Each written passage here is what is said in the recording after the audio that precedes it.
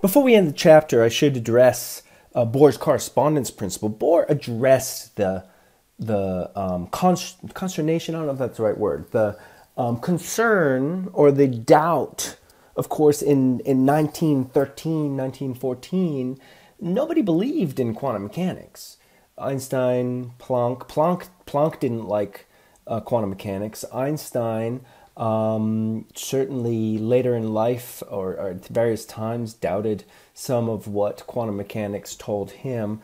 Um, and it wasn't until the 20s when there was enough evidence supporting quantum mechanics um, that scientists really had to accept it. Um, and one of the ways that Bohr tried to help this understanding of quantum mechanics is, is asking the question how do we accept the quantum view of the world when the classical world is so well understood? Right? Again, 1900, remember, we got to put this in context. 1900, we thought we knew everything. Now we turn it on its head with this quantum mechanics, which is so bizarre, um, more bizarre than relativity was. Um, and uh, this idea that things only come in discrete quantities, um, while it you know sort of goes with the atomist view um, of prior to to Aristotle, uh, it is really uncomfortable. So, so, so Bohr answered the question when do you treat something quantum mechanically or when do you treat it classically? And what Bohr said was in the limits of where quantum mechanics and classical, classical physics should agree, quantum mechanics should reduce to the classical result. In other words, they're not so different from each other. They're not just com- two completely different things, that there's got to be a place where they agree.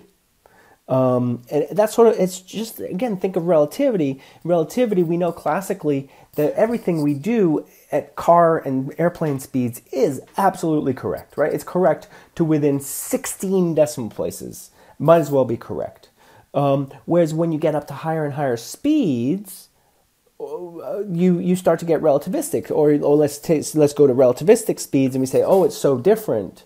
But somewhere, when you get low enough in, in speed, the relativistic result equals the classical result. And this is what Bohr says about quantum mechanics, is that the quantum mechanics result should reduce to the classical result. And indeed, we see that.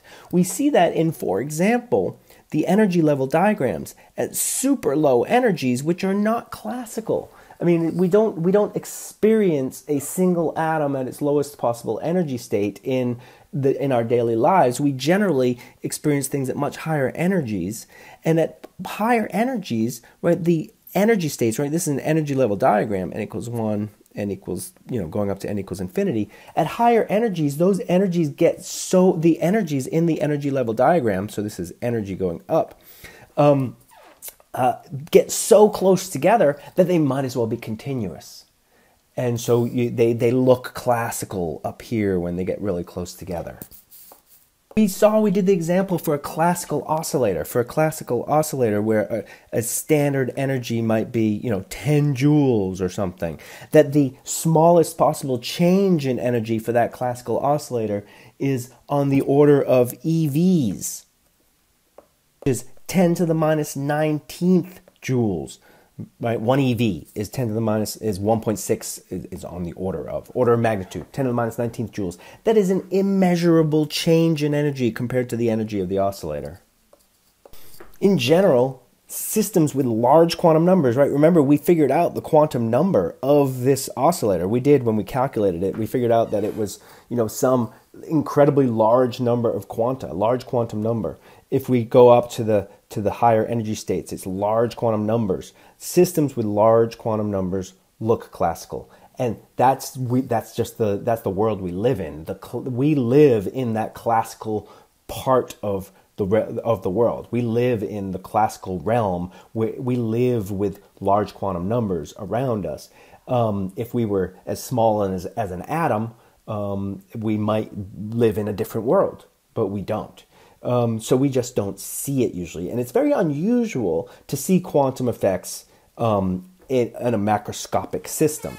There are macroscopic systems where we see class where we see quantum effects, but they are few and far between. If you've ever heard of a Bose-Einstein condensate, for example, it's something that I actually studied in graduate school, where you actually see quantum effects in a macroscopic class, what what might normally be a classical system. But that's unusual, few and far between.